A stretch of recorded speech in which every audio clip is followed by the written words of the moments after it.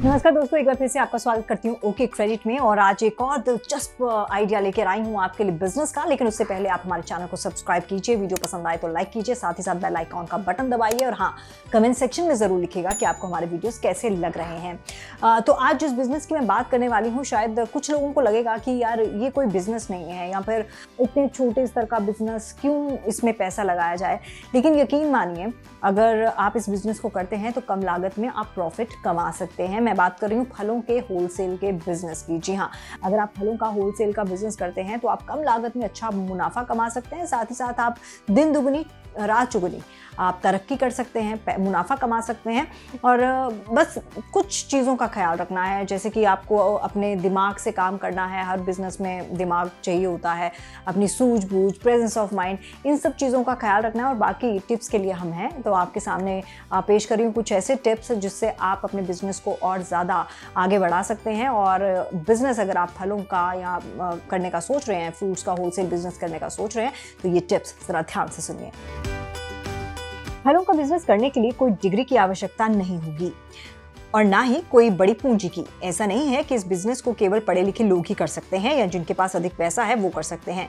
ये एक ऐसा बिज़नेस है जिसे कम पढ़े लिखे और अनपढ़ लोग भी कर सकते हैं। और जिनके पास इतनी लागत नहीं है, कोई और बिज़नेस को करने की, वो इस बिज़नेस को कर सकते हैं। इस बिज़नेस को करने के दो तरीके हैं। पहला होलसेल और दूसरा रिटेल इस वीडियो के माध्यम से आप जानेंगे फलों का थोक व्यापार कैसे करें।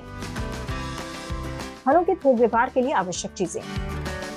जगह। फलों का थोक में व्यापार करने के लिए सबसे ज़रूरी है कि आप जिस जगह इस व्यापार को करना चाहते हैं, वो जगह फल मंडी, सब्ज़ी मंडी जैसी जगहों के पास, जिससे छोटे दुकानदार या जिन्हें थोक में फल खरीदना है, वो आपके परमानेंट ग्राहक बन सके। क्योंकि जो छोटे दुकानदार हैं या फिर जिन्हें ज़्यादा फल खरीदना होता है, वो फल मंडी से ही फल लेते हैं। वहीं फल मंडी के आसपास ही अपने लिए गोदाम की व्यवस्था करें, जहाँ फलों का स्टॉक रखा जा सके या बचा हुआ माल एकत्रित किया जा सके। श्रम शक्ति। फल के व्यापार में बहुत ज़्यादा लोगों की आवश्यकता नहीं पड़ती है। ये काम आप दो लोगों में भी कर सकते हैं। दो लोग मिलकर कांटे पर फल का नापतोल, फल को पैक करके ग्राहक के हवाले करना और हिसाब किताब करना, इसके अलावा और भी छोटे मोटे काम मिलजुल कर कर सकते हैं। फल की पर्याप्त मात्रा में आपूर्ति। ये बहुत ही ज़रूरी होता है कि जिस चीज़ का कारोबार किया जा रहा है, उसकी आपूर्ति पर्याप्त मात्रा में अच्छी गुणवत्ता के साथ उपलब्ध हो। ऐसे में यह आवश्यक है कि व्यापार करने वाले व्यापारी के पास अच्छी गुणवत्ता वाले फल होने चाहिए। आमतौर पर बड़े किसानों के द्वारा फल मंडी में फल की आपूर्ति की जाती है। इसके अलावा बहुत से ऐसे भी फल हैं जो हमारे देश में पर्याप्त मात्रा में नहीं होते हैं। भारत सरकार द्वारा वो दूसरे देश से आयात कराए जाने के उपरांत मंडी में पहुँचाया जाता है। तो आप अपनी आवश्यकता के अनुसार आयात किए हुए भी फल अपने व्यापार में शामिल कर सकते हैं। हर शहर में फलों के थोक व्यापारी होते हैं। सब्ज़ी मंडी की तरह फलों की मंडी भी होती है। थोक बाज़ार से खरीदे गए माल को रिटेल में किस भाव में बेचना है, वहाँ यहाँ के थोक व्यापारी ही बता देते हैं। इसके बावजूद शहर के अलग अलग इलाकों में फलों के अलग अलग रेट होते हैं। फलों के रेट, उसकी क्वालिटी, पैकिंग रख रखाव शोरूम में रखा माल, खुले में फलों की बिक्री, शहर का सस्ता और महँगा इलाका आदि पर डिपेंड करता है। आप फलों को थोक में किसी गाँव में जान पहचान बढ़ानी पड़ेगी। जो लोग बागानी करते हैं, उनसे संपर्क साधना होगा और उन्हें मनाना होगा कि वो आपके साथ बिज़नेस कर सके। फलों का थोक व्यापार करने में निवेश।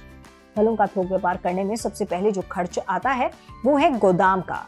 फल मंडी या सब्ज़ी मंडी के आसपास ऐसी जगह ढूंढना, जहाँ से आपको बिज़नेस करने में आसानी हो तो ऐसी जगह के लिए आपको किराया भी अच्छा खासा देना होगा, क्योंकि जगह गोदाम के अनुसार ही होगी। एक बार जगह में इन्वेस्ट करने के बाद आपको फलों को खरीदने के लिए खर्च करना होगा। फलों पर एक लाख से डेढ़ लाख रुपए तक निवेश करना पड़ सकता है। ये रकम आपके बिज़नेस के विस्तार पर भी निर्भर करती है। इसके अलावा फलों को तोलने के लिए हाथ वाले तराजू या इलेक्ट्रॉनिक तराजू की आवश्यकता होती है।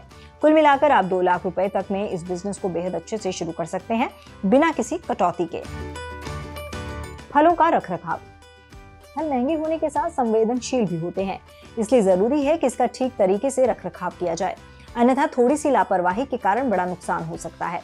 साथ ही इस पर भी ध्यान देने की ज़रूरत है कि फल ज़्यादा बासी ना हो, दिखने में ताज़ा और साफ़ दिखे, जिससे ग्राहक संतुष्ट होकर आसानी से खरीद सके।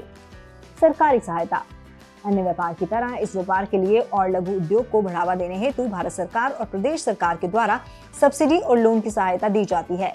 लोन प्राप्त करने के लिए व्यापार का रजिस्ट्रेशन कराने के उपरांत आधार कार्ड समेत अन्य ज़रूरी दस्तावेज़ लगाकर पोर्टल पर ऑनलाइन लोन के लिए आवेदन कर सकते हैं। तो देखा आपने कि आप फलों का बिज़नेस कितनी कम लागत में शुरू कर सकते हैं और इससे अच्छा खासा मुनाफा कमा सकते हैं।